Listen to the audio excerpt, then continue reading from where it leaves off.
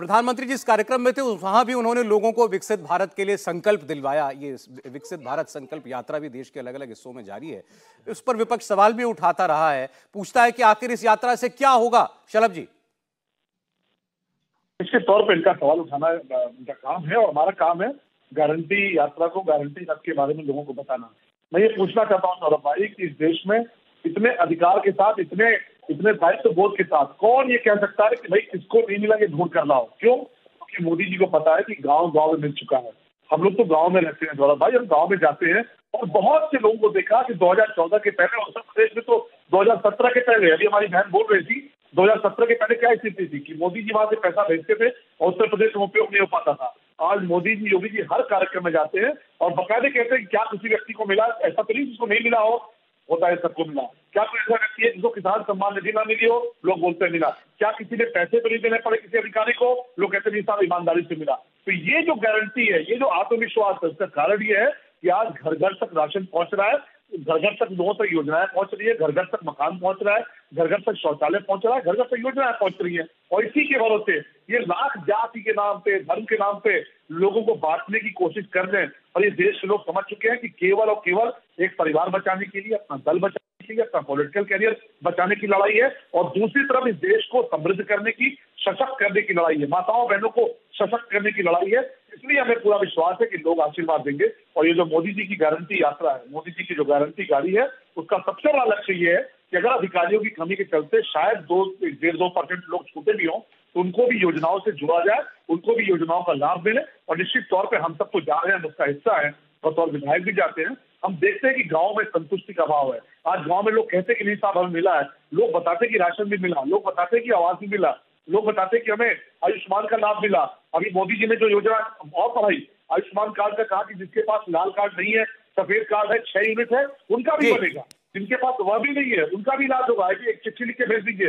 हम लोग बहुत सारे लोगों की चिट्ठी लिख के भेजते हैं और उनका गारंटी के साथ पैसा आता है। तो मुझे लगता है कि योजनाओं को जोड़ने का योजनाओं के ज़रिए आम व्यक्ति को सशक्त करने का माताओं बहनों को सशक्त करने का जो काम मोदी जी ने किया है वो मुझे लगता है ऐतिहासिक काम है और इसको अगर राजनीति से परिहट कर देखेंगे तो मुझे लगता है कि हमारे विपक्ष के साथी जो बीच में इंटरप्ट करने की कोशिश करते हैं हाथ उठाते हैं उनको भी पता है कि घर में जो काम कर रहे हैं लोग उनको इनका लाभ मिला है। उनको भी लाभ मिला उनको पता है। अगर सुरेंद्र भाई से जुड़ा कोई गरीब व्यक्ति होगा सुरेंद्र भाई अच्छा चलें ठीक है। निजी बातें शेयर नहीं करना चाहता लेकिन सुरेंद्र भाई भी जानते हैं मैं इसको की लाभ मिला है। हमारी बहन समाजवादी पार्टी की इनके परिवार में भी कोई कोई जानने वाला गरीब व्यक्ति होगा इनके गाँव में होगा उसको भी लाभ मिला है। कोई नहीं चला एक बार जरा सुरेंद्र जी से पूछ लेते हैं। सुरेंद्र जी तो सच बोलते हैं हमेशा। इनके बाद अरुण जी मैं आपके पास आ रहा हूँ। प्रधानमंत्री ने आज एक इंटरव्यू जो दिया था उसमें उन्होंने ये भी कहा कि मोदी की गारंटी इसलिए चलती है क्योंकि लोग नियत देखते हैं नेतृत्व देखते हैं नीति देखते हैं और हमारा ट्रैक रिकॉर्ड भी देखते हैं कि हमने लोगों के लिए क्या किया। सुरेंद्र जी। भाई प्रधानमंत्री जी हैं शलभ जी हैं अपने पक्ष की बात कहेंगे करनी भी चाहिए। वो कहते हैं ना कि ये तो बिल्कुल बात सच है कि इन्होंने छह हज़ार रुपए दिए किसानों को। लेकिन ये ये बताना हिडन होता है ना, जैसे किसी भी उसमें टर्म्स एंड कंडीशन अप्लाई होता है। छह हज़ार रुपए दिए और चौबीस हज़ार रुपए लूट लिए।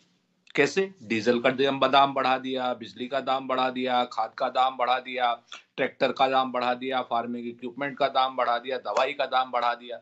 वो एक बड़ा पुराना शेर है सौरभ भाई, कि भाजपा इस कदर आवाम पर एहसान करती है, वो आँखें छीन लेती है और चश्मेदान करती है। आजकल चश्मों का युग चल रहा है। हर चीज़ को मोदी जी की गारंटी के चश्मे से लगाकर देखिए, आपको सब हरा हरा नज़र आएगा। आपको ये बिल्कुल नहीं समझ में आएगा कि साहब पचपन लाख करोड़ रुपए का कर्ज था देश पर जब 2014 में। आज की डेट में दो लाख बहत्तर हज़ार करोड़ रुपए का कर्ज हो गया है देश पर, बाकी डेढ़ लाख करोड़ ये कहाँ चले गए? ये इसका कोई हिसाब किताब नहीं है भारतीय जनता पार्टी के पास।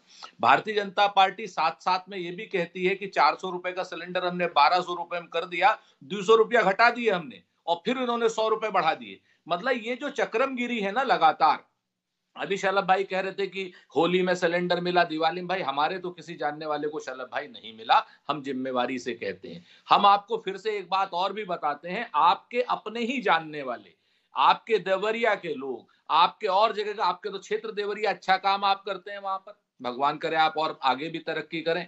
लेकिन आप मुझे बता दीजिए वहाँ जाकर के कि आयुष्मान कार्ड पर कितने लोगों का इलाज हो रहा है और कितने लोगों का नहीं हुआ है? आप अपने दिल से पूछ के आपकी भाषाई मर्यादा है ज़रूरी है मजबूरी है भारतीय जनता पार्टी का विधायक है। लेकिन जिस तरीके की परेशानियाँ देश में चल रही हैं जिस तरीके की महँगाई देश में चल रही है चार साल के लिए आप सेना में भर्ती कर रहे हैं और पाँचवें साल में चार में से तीन लोगों को निकाल करके उनको वागनर की सेना टाइप बनाने की जो कोशिश कर रहे हैं तो एक चीज़ इस चीज़ को निश्चित तौर पर जान लीजिए कि आज आप अपनी मार्केटिंग के ज़रिए ज़रूर आप कर सकते हैं मोदी की गारंटी मोदी की गारंटी। मोदी की गारंटी तो बताए ना उन लोगों के पास जो लोग बेरोजगारी की हाँ मोदी गारंटी बेरोजगारी की गारंटी है।